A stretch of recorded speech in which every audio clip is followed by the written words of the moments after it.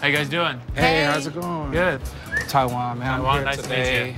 I got a speaker. I got You got multiple speakers. It's even better then. Yeah. our apartment building called, and we $150 short, so I'm hoping you guys can help us out. So you need 150 bucks. Yes. Realistically, I could sell you them for about 100 bucks. So what you trying to give me for this? I want 150. What You you selling it to- or pawning I'm it? Selling it. Like 45 bucks. Hell no, man. Well, that's your choice. You don't have to take it. Why you can't give me a 100? Well, because I told you I would sell it for under a 100 bucks. And so I can get you 45 Nah, bucks. f- that. No, I don't want That's to. okay. Taiwan, what I tell you about your mouth? I don't need from these mother.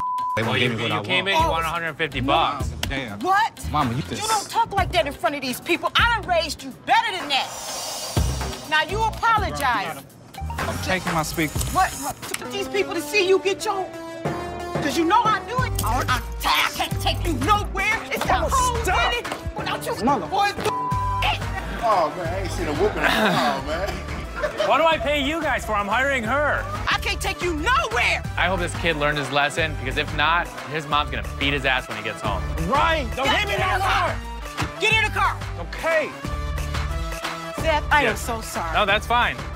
I apologize. I appreciate that. Thank you. Thank you. Handling my security staff stuff. Whew.